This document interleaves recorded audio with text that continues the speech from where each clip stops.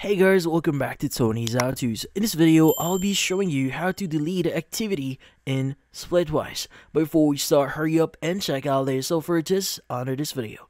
So let's get started.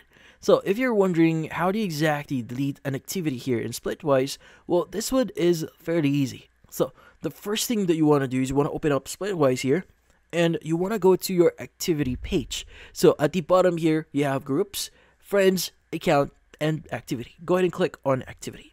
Now from here, you want, want to go ahead and look for the activity that you may want to delete.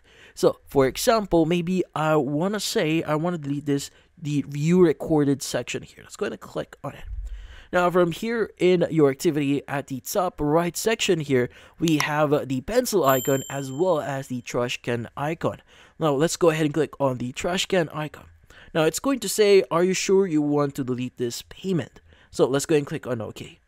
Now, what it does, it actually deletes that specific history from uh, your, um, case, activity here. So it will also show you that you deleted the payment just in case, like for example, you uh, they actually uh, took back what they owe you. So in this case, uh, this is a great way for you to uh, go back on uh, certain transactions here.